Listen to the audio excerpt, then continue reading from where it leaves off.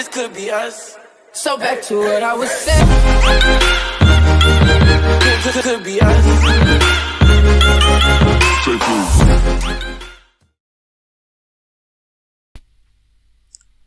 Hello guys, this is Awi Kun and welcome back to my channel. It's time for Immortal Reference Dead chapter 383. Thanks to the sacrifices of the three brothers, Yu and Lin Lin managed to escape from the captivity of Alliance leaders. In their last moment, the three brothers expresses their gratitude for being acquainted with Lin Lin and Sen Yi. A low-level cultivator like them, who is often reviled in the cultivator alliance, being able to get to this point is something that they are very grateful for. The three of them also hopes to meet Lin Lin again in the next life.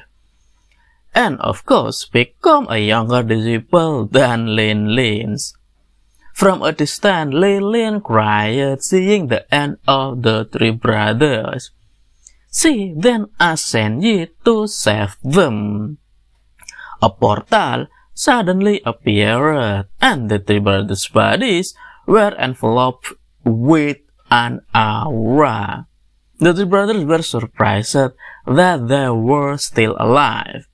The aura apparently belonged to Senji who had returned from the portals. Lin Lin and Fei Yu very happy to see Senji return. The three brothers also confirmed whether the person was really Senji. Senji insinuated the three brothers as useless people because Senji never teach the three brothers to blow up themselves.